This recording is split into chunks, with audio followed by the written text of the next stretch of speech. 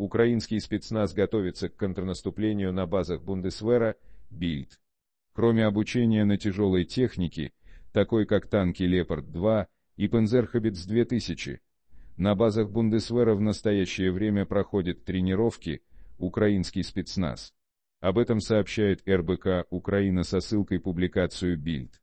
По данным издания, всего в Германии проходит обучение более тысячи украинских военнослужащих, в том числе более 100 человек, в качестве экипажей танков «Лепард-1», которые начали тренировки за последнюю неделю. В частности, спецназ обучают локальным и городским боям, это особенно важно для планового освобождения оккупированных российской армией городов. Чтобы повысить шансы украинцев на победу, тренируется и атака окопавшегося врага. Русские солдаты вырыли длинные траншеи, построили укрепления в ожидании украинского наступления.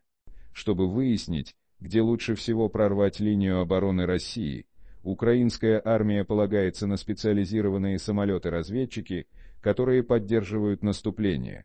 Однако эти легко вооруженные силы также могут быть быстро уничтожены, если противник их заметит. Поэтому Бундесвер также обучает украинцев выживанию в тылу врага, так называемая подготовка СР по стандартам НАТО, выжить, уклониться, сопротивляться, выбраться. По информации Бильд, Министерство обороны и федеральное правительство Германии настроены с осторожным оптимизмом. В лучшем случае ожидаются небольшие успехи ВСУ и ограниченные прорывы через позиции российских оккупационных войск. Основная причина – сплошная масса русских солдат, которые уже не способны к большим наступлениям, но имеют численное преимущество в обороне. Поставки 80 основных боевых танков «Лепард-1» в Украину начнутся в середине 2023 года.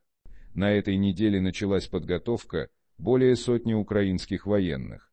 Срочные и важные сообщения о войне России против Украины читайте на канале РБК «Украина в Телеграм».